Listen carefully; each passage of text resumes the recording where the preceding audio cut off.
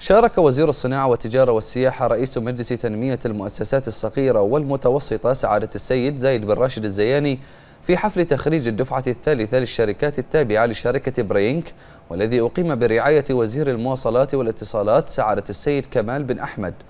وذلك بمشاركة أكثر من 200 شركة ناشئة على المستوى العالمي والتي تعمل في مجال الإنترنت والأجهزة الذكية حيث أبدى إعجابه بمستوى التطبيقات والمشاريع التي تم عرضها. وخلال الحفل أشاد سعادة الوزير بالتطور الكبير والعالمي للشركات الناشئة التي أصبحت محط اهتمام الاقتصاديين والمستثمرين العالميين والتي باتت تعمل في كافة المجالات وأن البحرين تسعى دائما إلى دفع الشركات الناشئة التي أصبحت اليوم عنصرا أساسيا في بناء المنظومة الاقتصادية.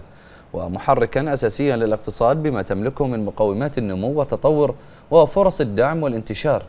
وأشار الزياني إلى أن مجلس تنمية المؤسسات الصغيرة والمتوسطة يساهم في إطلاق عدد من المبادرات الداعمة لريادة الأعمال والمؤسسات الناشئة والصغيرة والمتوسطة كتوفير خدمات احتضان وتسريع الأعمال حيث تم الترخيص ل 21 حاضنة ومسرعة أعمال يستفيد منها أكثر من 600 مؤسسة ناشئة. بالإضافة إلى ذلك تم تدشين مركز صادرات البحرين بهدف تشجيع وترويج الصادرات الوطنية والارتقاء بجودتها لتعزيز مكانة البحرين كشريك تجاري عالمي.